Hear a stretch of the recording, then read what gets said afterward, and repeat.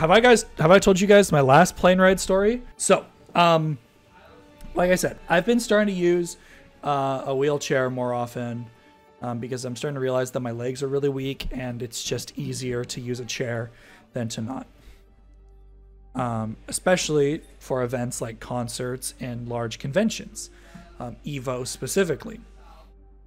So I bring a wheelchair. I call them the night before. I tell them, hey, I have a personal wheelchair. What do I need to do? I said, that's great. Um, I'll put it on your ticket that you have a, personal wheelchair and we'll be fine.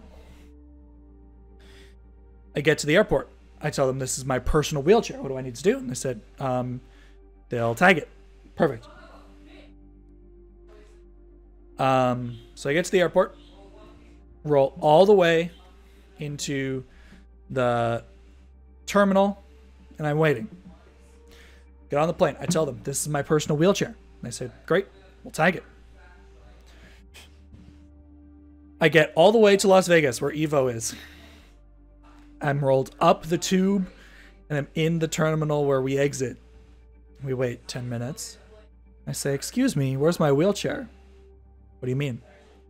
Where's my wheelchair? My personal wheelchair that I told three different people about. They do make a bunch of phone calls and a bunch of texts. They show me a picture on a, on a, on a cell phone. Is this your wheelchair? Yeah. Yeah, that, that's my wheelchair. They left it in the airport that I left from. So I'm telling them, like, this is unacceptable. I told three separate people this is my personal wheelchair.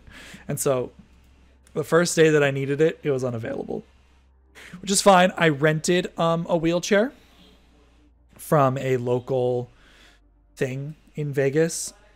Um, they were nice enough. It was just, it was a hassle and it was frustrating. But I finally got my wheelchair and it was just a whole thing. And now they, they owe me 60 bucks, which hasn't come yet. Because I called them like, hey, look, this this charge, this service fee that I needed to do, I shouldn't have to pay because it's your fault. And so now I'm waiting for my reimbursement because it's just so dumb. It's so frustrating. It was. It it was absolutely the airline's fault. But yeah, that was my adventure last on an airplane.